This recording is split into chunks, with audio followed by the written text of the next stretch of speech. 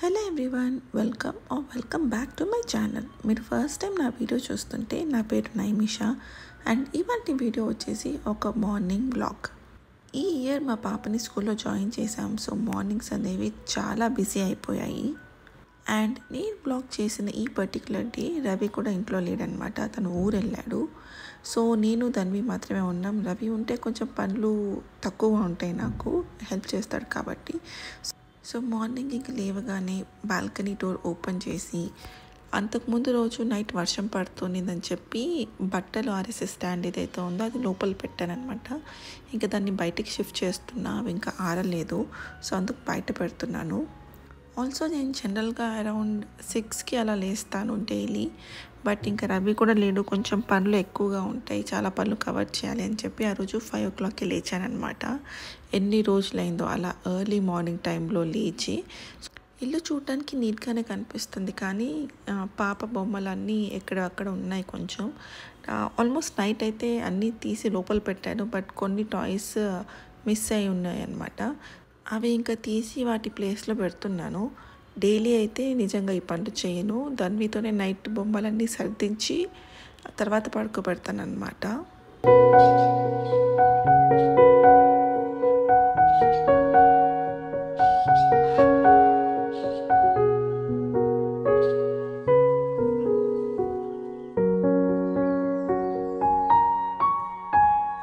హాల్లో ఇంకా సర్దిన తర్వాత కిచెన్లోకి వచ్చాను. కిచెన్లో కూడా ఆల్మోస్ట్ అన్ని నైటే సర్ది పెట్టేసుకున్నాను. అండ్ మార్నింగ్ బ్రేక్ఫాస్ట్కి ప్రీ ప్రిపరేషన్స్ అనేవి చేసి పెట్టుకున్నాను. సో టైం అయితే ఎక్కువ పట్టకపోవచ్చనే అనుకుంటున్నాను. అలా డోర్ తీయగానే చల్లని గాలి ఒక్కసారి ఇలా తాకిందనమాట. చాలా రిఫ్రెషింగ్ ఫీలింగ్ వచ్చింది. ఇది కిచెన్ బాల్కనీ నుంచి వ్యూ అక్కడక్కడ బర్డ్స్ చల్ల గాలి. చాలా అంటే చాలా బాగుంది వెదర్ లైట్గా తుంపర పడతా ఉన్నింది పడి పడినట్టు. It was very very pleasant ఇంకా వంట స్టార్ట్ చేయాలి బట్ నేను స్నానం చేసిన తర్వాతే వంట చేద్దామని ఫిక్స్ అయ్యాను ముందే. ఎందుకంటే తన్వి లేచిందంటే నేను స్నానానికి వెళ్ళడానికి కుదరదు. తను లేచేలోపు నా బాత్ అయిపోవాలి. బట్ ఆ లోపు లంచ్ కోసం బాక్స్ ప్యాక్ చేయాలి కదా. దానికైతే అన్నం వండాలి. స్నానం చేసే ముందు కొంచెం బియ్యం నానబెట్టి వెళ్దామని చెప్పి బియ్యం నానబెడుతున్నాను ఇక్కడైతే. యాజ్ యూ కెన్ సీ స్నానం చేసి వచ్చేసాను ఫ్రెష్గా. దాన్ని స్కూల్కి వెళ్ళటమే పని కాదు నేను కూడా ఆఫీస్కి వెళ్ళాలి. సో ఇంకా అందుకని చెప్పి ఫ్రెష్గా స్నానం చేసేసి వచ్చేసాను. ఇంకా కిచెన్లోకి వెళ్ళి మిగతా పనులు చేసుకుందామని చెప్పి అనుకున్నాను. దానికి ముందు కడుపులో గుడ్ గుడ్ మనీ సౌండ్స్ స్టార్ట్ అయ్యాయి అనమాట నేను యాక్చువల్గా dinner seven eight maximum eight లోపల కంప్లీట్ చేస్తున్నాను ఈ మధ్య. అందుకని పొద్దునే త్వరగా ఆకలి వేస్తుంది. సో ఫస్ట్ రైస్ పెట్టేసి దాని తర్వాత కొంచెం warm water with honey and lemon కలుపుకుంటున్నాను. Taste అయితే అంత గొప్పగా ఉండదు బట్ ఏదో హెల్దీ అంట అని చెప్పి తాగాల్సిందే.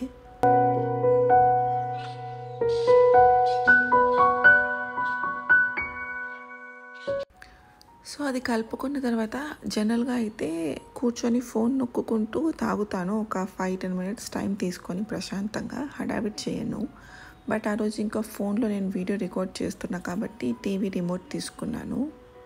టీవీ చూస్తుంటే సడన్గా ఒక పని గుర్తొచ్చింది. యాక్చువల్గా మీరు చూస్తుంటే రైట్లో బాల్కనీలో కొన్ని మొక్కలు ఉన్నాయి దానికి వాటర్ వేయమని చెప్పున్నాడు రవి. నేను మర్చిపోయాను. సరే ఇంకా వాటర్ వేద్దాం వాటికి అని చెప్పి లేచాను. అపార్ట్మెంట్స్లో చెట్లు పెంచడం కష్టం అని చెప్పి అనుకుంటారు జనాలు.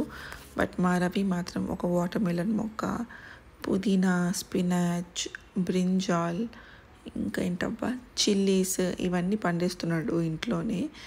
ఆకుకూరలు అయితే టూ రకాలు ఏవో వేశాడు. అవి రెండు వచ్చాయి పప్పు చేసుకున్నాం కూరలు చేసుకున్నాం. చాలా చాలా బాగా అనిపించాయి. చాలా ఫ్రెష్ కదా ఏ మందులు వేయకుండా ఇంట్లోనే పెంచుకోవడం. వాటికి సీడ్స్ అయితే అమెజాన్లో తీసుకొని పెట్టాడు. వస్తాయో అని చెప్పి అనుకున్నాం కానీ చాలా బాగా టర్న్ అవుట్ అయ్యాయి. మీకు ఇన్ కేస్ ఆ సీట్స్ లింక్ కావాలంటే నాకు కమెంట్ బాక్స్లో అడగండి. నేను మీకు మెన్షన్ చేస్తాను సో దట్ మీరు కూడా ట్రై చేయొచ్చు. మీకు గార్డెనింగ్ ఇష్టం ఉన్న వాళ్ళు అయితే. ఇంకా చెట్లకి ఐ మీన్ మొక్కలకి నీళ్ళు పోసిన తర్వాత ఒక పది నిమిషాల్లో దేవుడికి పూజ అంతా కానిచ్చేసాను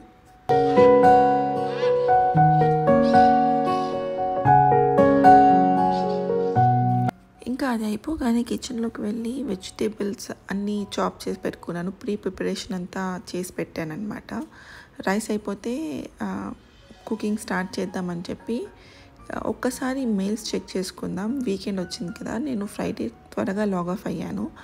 నేను లాగ్ ఆఫ్ అయిన తర్వాత ఏమైనా మెయిల్స్ వచ్చాయా? దేనికైనా అర్జెంట్ యాక్షన్ ఆర్ రిప్లై ఇవ్వాలా అని చెప్పి చెక్ చేసుకుందామని ల్యాప్టాప్ అయితే ఓపెన్ చేశాను. ఇంకా అప్పటికి రైస్ అవ్వలేదు. అందుకనే కొంచెం ప్రశాంతంగా కూర్చొని కాఫీ కలుపుకొచ్చుకున్నా ఈసారి. నేను కాఫీ తాగుతున్నప్పుడు టైం చూస్తే around six forty five seven seven అవుతుంది యాక్చువల్గా. ఇంకా తన్వి లేవాలి. సెవెన్ సెవెన్ థర్టీ మధ్యలో తను మామూలుగా లేస్తుంది. నాకు ఎందుకో సౌండ్ వచ్చిందనమాట బెడ్రూమ్లో నుంచి. తను ఏమైనా లేచిందేమో అని వెళ్ళి చెక్ చేశాను.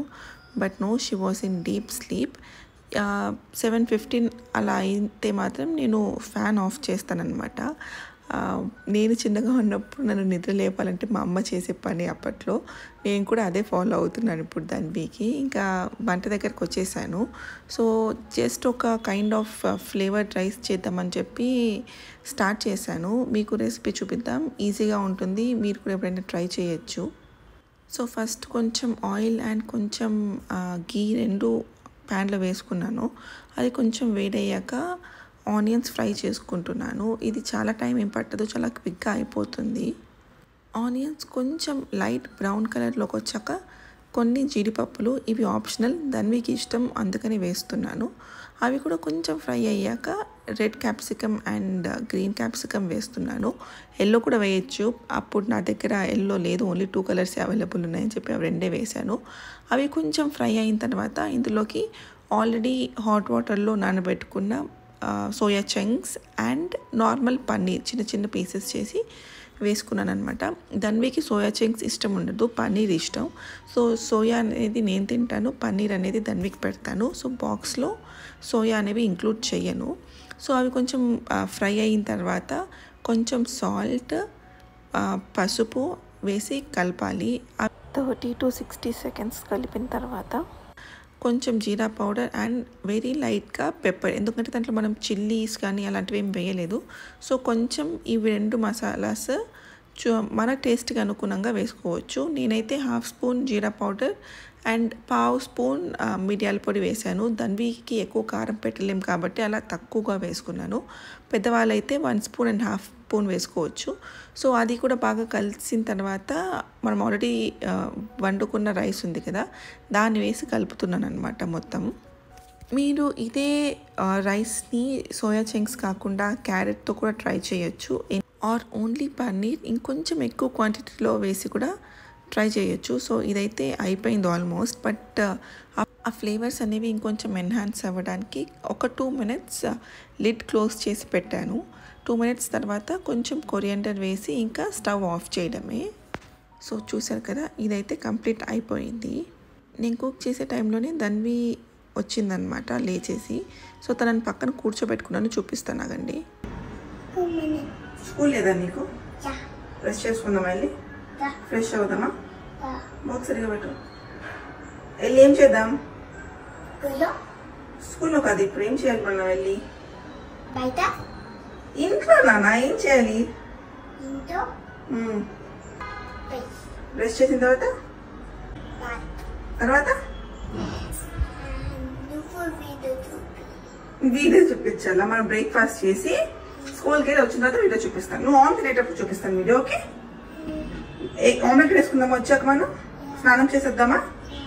Chelvi go go yo so అలా వెళ్ళి తనకి బ్రష్ చేయించి స్నానం చేయించి స్కూల్ టీ షర్ట్ వేసి తీసుకొచ్చానమాట తనకేంటంటే ఎగ్ అలా మిక్స్ చేయడం ఇష్టం. సో తన ఎగ్స్ తనతోనే బీట్ చేయిస్తాను. బ్రేక్ఫాస్ట్కి యాక్చువల్లీ ఎగ్ అడిగింది అనమాట సరే అని చెప్పి ఇంకా ఆమ్లెట్ వేస్తున్నాను. అండ్ ఆమ్లెట్ కూడా ఆయిల్తో నెయ్యితో కాకుండా బటర్తో వేస్తున్నాను అనమాట బటర్తో వేస్తే కొంచెం మంచి ఫ్లేవర్ ఎన్హాన్స్ అవుతుంది. అలాగే మంచి ఫ్లఫీ ఫీలింగ్ వస్తుంది. సో ఫస్ట్ అయితే onions and capsicum already cut చేసి ఉన్నాయి కదా అని చెప్పి వాడుతున్నాను. లేకపోతే మీరు మష్రూమ్స్ అయినా వేసుకోవచ్చు or any other vegetable like carrot beetroot అలాంటివి కూడా వేసుకోవచ్చు. ఇవి కొంచెం ఫ్రై అయిన తర్వాత ఇంకా ఇందులోకి ఎగ్ బీట్ చేసిన ఎగ్ వేయడమే.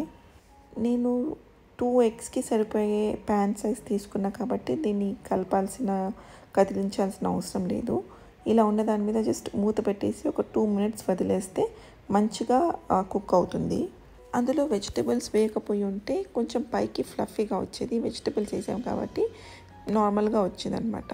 సో దీన్ని ఇప్పుడు ఫ్లిప్ చేసుకున్నాను. ఫ్లిప్ చేసి ఇంకొక టూ మినిట్స్ దీన్ని వదిలేస్తే మన బ్రేక్ఫాస్ట్ రెడీ నేను అది సర్వ్ చేసే లోపల ధన్విని నీ చైర్ రెడీ చేసుకో అని చెప్పాను. సో అదే ఇక్కడ కష్టపడుతుందనమాట. సో వెళ్ళి ఆ చైర్ని టీవీ ముందర వేసుకుంటుంది. ఒక స్టూల్ వేసుకుంటుంది. ఆ స్టూల్ వేసుకుని చైర్ ఎక్కి కూర్చుంటుంది అనమాట సో తను ఆల్రెడీ స్పూన్ తీసుకెళ్ళిపోయింది. స్పూనో ఫోర్కో తినడానికి ఏదో ఒకటి తీసుకెళ్తుంది. నేను జస్ట్ ఇంకా వెళ్ళి తనకి తని ప్లేట్లో సర్వ్ చేయడమే. చూసారు కదా వెయిట్ చేస్తూ ఉందన్నమాట. నేను ఎప్పుడు వస్తానా తీసుకొస్తానా అని చెప్పి. అది ఎగ్ కాబట్టి కొంచెం ఎక్సైటెడ్గా వెయిట్ చేస్తుంది. లేకపోతే నార్మల్ ఫుడ్ అయితే ఇంత ఎక్సైట్మెంట్ ఉండదు. సో నేను ఇంకా తనకి సర్వ్ చేసేసాను. ఈ టైంలో ఇంకా నేను వెళ్ళి రెడీ అవ్వాలి.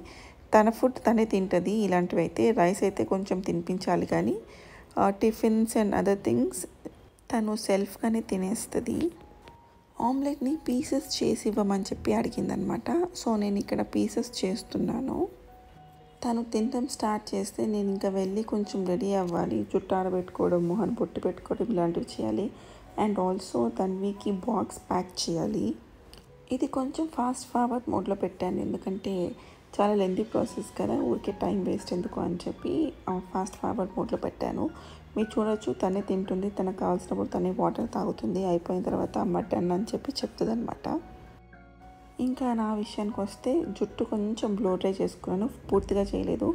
ఊరికే ఆతాడి పోయేంత వరకు బ్లో డ్రై చేశాను. ఇంకా ధన్వికి లంచ్ బాక్స్ ప్యాక్ చేయడానికి కిచెన్లోకి వచ్చేసాను అనమాట సో రైస్ పెడుతున్నాను. అందులో ఏదైనా మీల్ మేకర్ పీసెస్ కనిపిస్తే తీసేస్తున్నాను. ఎందుకంటే దాన్ని తినదు. తను ముందే చెప్పింది వద్దు అని చెప్పి. తన ఈ బాక్స్లో త్రీ పార్టీషన్స్ ఉన్నాయి కదా.